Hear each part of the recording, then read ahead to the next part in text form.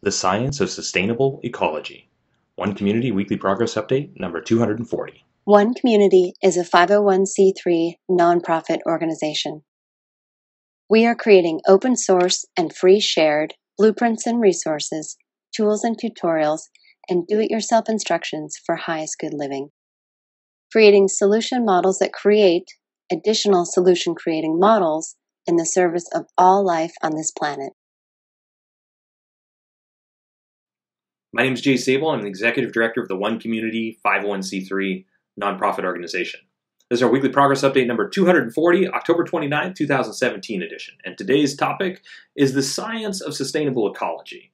Science, we know what that is, and sustainable ecology is really the concept, or for us, for one community, the science of sustainable ecology is about the ecology of humans in relationship to their environment. Ecology is normally organisms in relationship to their environment. The, and we're really focused on what would be the science of creating sustainable environments that people would prefer to live in versus the way that they're living right now. This would be the science of sustainable ecology. What is the necessary environment that that would be created to to have people choose to live in that environment versus how they're living right now, built on sustainability. Most people realize that the way that we're living right now as a species is not sustainable. We are destroying our forests, we are destroying our oceans, we are destroying, well, pretty much all of our natural resources, and we're using more resources than is than is sustainable. There's a measuring tool actually that talks about when we cross the line of sustainability every single year. You can Google this if you're interested in it. And every year it's getting a little bit closer to the beginning of the year. The point is is that we use more than we produce sooner and sooner every single year. And that's a problem because it is unsustainable. By definition, if something's not sustainable, that means it can't go on forever. And so a solution is past due. And so one community is creating that solution. Our idea of creating the science or supporting the science of sustainable ecology is through open source tools, tutorials, resources, and do-it-yourself instructions for all aspects of what we call highest good living. And so everything that you see happening in the background of the video right here is what we've been working on for the last seven years. And the goal is self-replicating teacher demonstration hubs designed to teach others how to create teacher demonstration hubs as well.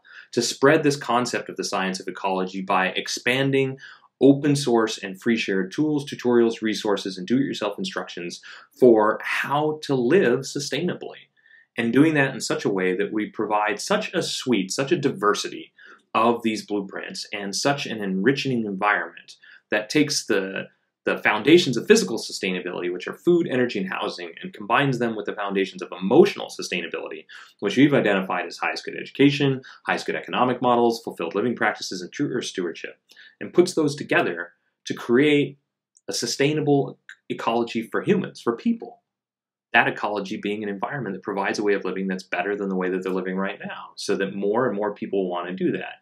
And if we can create that self replicating model by making it easy enough, affordable enough, and demonstrating it as attractive enough so that the idea will spread on its own, solution models specifically designed to create additional solution creating models, then we can transform our planet within our lifetime. We can change our entire culture and civilization to a sustainable one within our lifetime, and you can do the math pretty easily right now with me. If you imagine that one group of 50 people creates starts something like one community, and one community is meant to grow to several thousand, but if a group of just 50 people starts a sustainable village model like one community, and that inspires two additional groups of 50 people after that the next year, and the year after that, it inspires four more groups to start sustainable communities. And after that, eight, and then 16, and then 32, and then 64, and so on and so forth. If you run that out for 30 years, we will cover the entire population, the growing population of our planet. And one community is designed so that it doesn't require the participation of everybody. There's a certain tipping point of, of participation that would lead to a completely sustainable world and a world that truly works for everybody. And that's what we want to achieve. And because we're open source and because we're free shared and because we are non dogmatic about it, we don't pretend that everybody will want to participate. But we believe that what we're creating will be beneficial enough to people and groups that enough people will want to participate that we can create a sustainable world for everybody. That we can change that clock that keeps getting closer and closer and closer to the beginning of the year that shows that we have passed our point of sustainability for this year.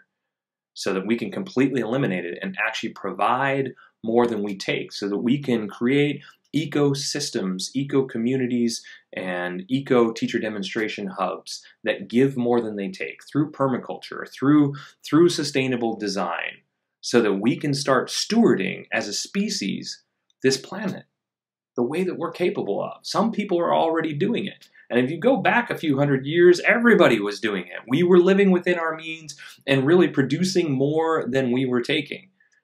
We can return to that with the technological advances that we have today and create a world that truly works for everybody. And this is what One Community is all about. This is our idea of forwarding the science of sustainable ecology in a way that is a win, win, win, win. Win, win, win, win. That's win for the planet, win for people, win for for uh, the economy and for our global economic systems, and also a win for all surrounding communities. So a win for everybody. And we think that that, well, that's really our highest good philosophy, is to create in a way that is to the best of our ability for the best and for the highest good of all life on our planet. This is what One Community is all about. So with that said, let's check out what one week of our team, and our team is an all volunteer team. None of us are paid for what it is that we're doing our all volunteer nonprofit team. Here's one week of our team's progress and accomplishments working towards the science of sustainable ecology in an open source and free shared manner that we believe that well, can create a world that works for everybody and will be implementable by anyone.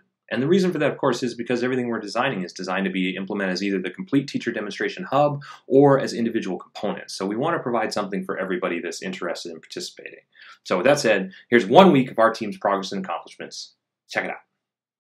The one community approach to highest good housing is eco artistic home building that is affordable, sustainable, do it yourself duplicable, resource and space efficient, and consists of seven different sustainably constructed village models. This week, the core team, which includes the Pioneer members plus those helping who don't wish to be individually acknowledged, continued SketchUp design for the open source outdoor areas of the Recycled Materials Village Pod 6. This week's focus was working on the obstacle course. We reset the order of obstacles, designed and added four new obstacles, added a course path with start and finish signs, and added benches. And the core team created and updated the remaining complete Treehouse Village images throughout the site. The core team also edited the master plan file by adding new images and then updated it across the site. You can see that update here and on our overview page. In addition, we continued working on the Murphy bed instructions, continuing to test different layouts. Here is one of the new instructional page examples in progress. The core team also finished the complete straw bale village materials and cost analysis page. You can see pictures of this work here and access the complete page on the site. And the core team continued editing the Earthbag Village tools and equipment page.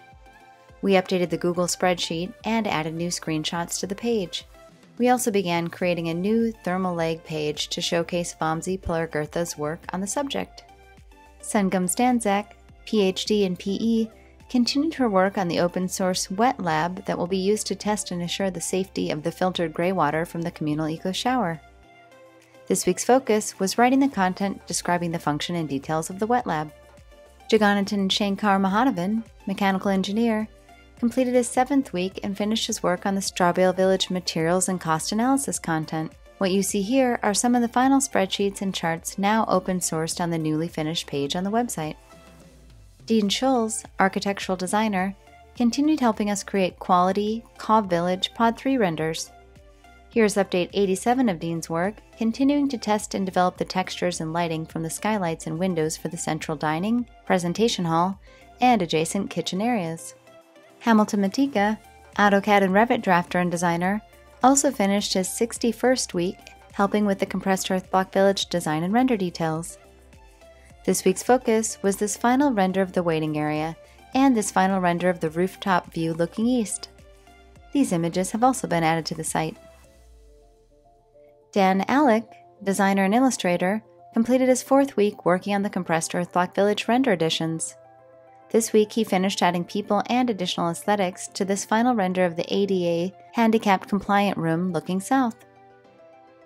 Aparna Tandon, architect, continued her work on the compressed earth block village external elements. What you see here is her 36th week of work, focusing on the final presentation shown here and live on the site for Zone 7, the Northwest Relaxation Space with seasonal ponds. One Community is also creating an open source duplicable city center. It is designed to be LEED Platinum certified, provide 12 guest rooms, dining for over 150 people, and laundry and recreation space for over 300 people, all while saving money, time, space, and resources. This week, the core team updated the floor plan images on the Duplicable City Center main hub, which you can see here. Hayes Lay, structural engineer, continued work on the City Center structural engineering tutorial. What you see here is his fifth week of writing content. This week's content focus was finishing the wind load details, as seen here. Falgun Patil, mechanical engineer, completed his ninth week continuing to review, run calculations, and update the specifics of the remote energy setup plan for the highest good energy page. As part of this, he also completed a week of researching the city center HVAC systems and drafted an initial proposal. Aruba Rabi, PhD, PE, and civil engineer, also continued working on the City Center Structural Engineering AutoCAD and SAP 2000 models corrections. This week, she finished corrections for the living and social domes in SAP 2000 and provided the needed corrections shown here for AutoCAD. Aravind Vasudevan, mechanical engineer, continued his calculations and research for climate battery component of the City Center Heating and Cooling open source hub. This week's focus was final corrections and updates to the sizing spreadsheets so we can use them for sizing climate batteries for the food structures.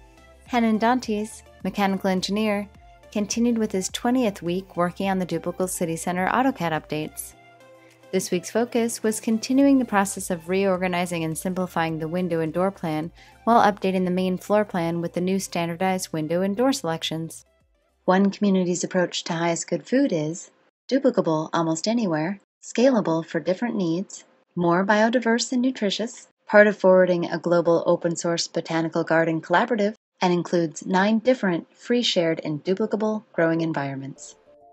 This week, the core team continued researching and organizing and added more data for 20 countries' nutrition guidelines to the resource chart for our food self sufficiency transition plan and sustainable food nutrition calculations page, as you can see here. One community's approach to highest good education is designed for all age groups, adaptable to any schooling environment, inspiring and fun for all participants, includes national standards, all subjects, lesson plans, teaching strategies, learning strategies and tools, classroom design, and more. This week, the core team continued adding to the education assessment format open source page and tutorial. This week, we finished the explanation of key roles and terminology and the format, steps, and process summary portions, as shown here. The One Community approach to highest good society is globally focused, individually enriching, cooperative, and collaborative, includes a highest good network and application, four different economic models and combines fulfilled living and true earth stewardship for the benefit of all people and all life on this planet. This week, the core team updated our Welcome to the Team page and collaborative Google Doc template to better share for new members of the team our updated volunteer expectations and procedures. We also updated our site header to include a new search dropdown with links to all the key search engines and created a new Search One community page to make navigating the site easier. And the core team created two new rounds of search icons and added them to the Search One community page. You can see the final icons here. Well, there you have it. There is one week of our team's progress and accomplishments working towards uh, propagating the science of sustainable ecology in an open source and free shared manner that we believe can become self replicating and create a world that truly works for everybody within our lifetime.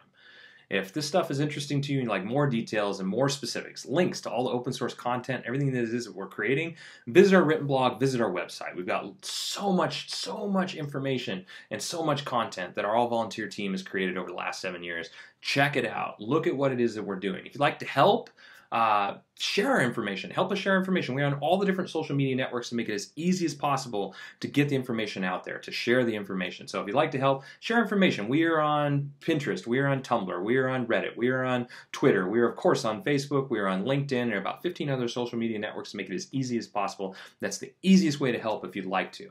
Uh, also, if you'd like to receive an email every time one of these updates comes out, you can send an email to onecommunityupdates at gmail.com and we'll add you to our newsletter list. Uh, or if you'd prefer to manage your updates through uh, through YouTube or through social media, subscribe to our social media channels or subscribe to our YouTube channel and manage your updates that way.